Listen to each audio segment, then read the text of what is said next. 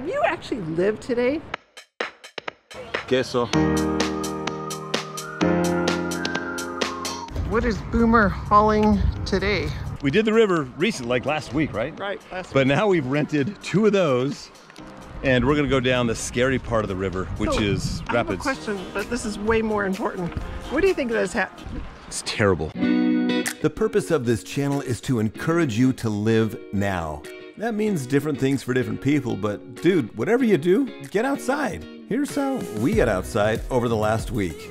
If you want to commit to going outside over the next week, go ahead and hit that like button and subscribe so you can start to live your life untethered. We have stowaways this time. We are taking, What's up, baby? Aubrey, Dobley, Josie. I think Josie's a little terrified, but it's okay. We have got full instructions of its nose and feet down the river if you're gonna go. Nobody's gonna die. Paddle hard, paddle hard, don't stop paddling. Paddle hard, paddle hard, paddle hard. Woo! Yeah! Arms already! Come on, on! Speed up, speed up, speed up! Grab her, grab her! Grab Aubrey! We're good. It's slow here. You're fine. You're fine. Is she there? Minor issue. Our raft that we rented is deflating. Are you worried? Nah, I've already been in one.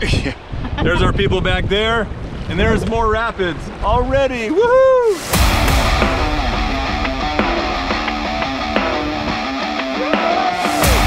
I sat on the floor. I was like, ah, bye.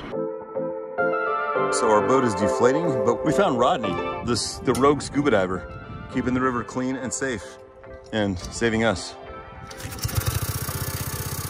I will not let you down ever because I love you. I spy a couple little bears in the tree picking blackberries. They're like nature's gummy bears. Want some? I want some. Hey! We made it for four and a half hours. Um, only one person fell the boat. There was a lot of water and there was a lot of rowing. There was bread and salami. We were entering the first rapid and of course I had a sandwich in my hand and the oar in my other hand thinking it's a good time to have a sandwich. And then I look ahead and Aubrey just like falls in the water We ran out of air in our boat and it just folded in half and I went in. and I was like, I tried eating as fast as I can before she drowned, and I was only able to get like three fourths of the way through it. I was like, and I threw it up, and it landed in the water.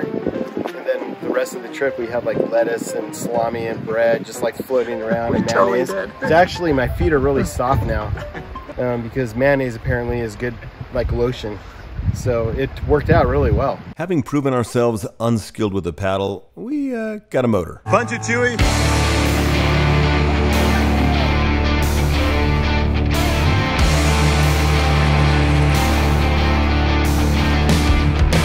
Okay, Kaylin, this is it. We're doing a trip for you.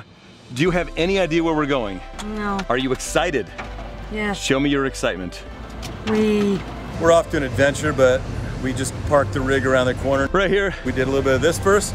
Now we're gonna go somewhere secret that Kaylin, it's for her birthday. She didn't even know about it. Should we tell her? Not yet. Part of it's about enjoying the journey, man. And we're on our way to our secret destination, and look what it looks like. It's just beautiful here.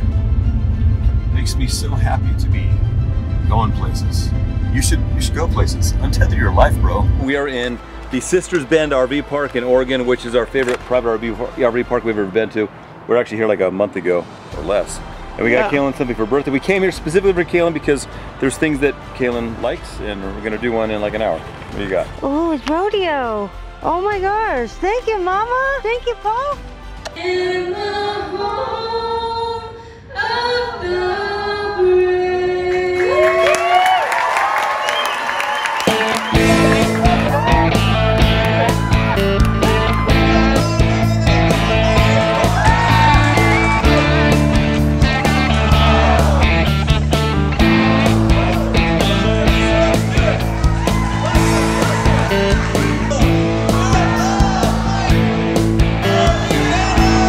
That was fun. I like the barrel racing and the Broncos. And I'm so glad that we went and saw the animals too. Some guy came running after because I was waving the camera. He's like, "Hey, uh, where are you guys from?" He thought we were from PETA or something. He's like, We're "No, not. we're not. We love just were the checking animals. it out. It was super cool." Um, I was really, really impressed with the kids there. They raised these animals. They were so responsible, super cute. Future Farmers America 4-H, I'm all for it. We typically stay at state parks, national parks, even county parks. We find that those are some of the best, most spacious parks. We typically stay away from like private RV parks because usually they're about making money, so you're really crammed in. They're always not always so nice. Yet we found one that we love. It is beautiful, it's spacious, it's green, it's well maintained, and the concierge, like incredible customer experience. What she's saying is we just found the number one private RV park we've ever been to in our entire travels over the course of the last year, and it is the Sisters Bend RV Park here in Sisters, Oregon. Wait, are you pulling us out of here? You, you can't do that, you're a girl. I've done it before, and your boy, you better watch what you say. Let's see how many things we hit on the way out, shall we? What do you think, baby? Can mom do it? We should be turning wide around corners.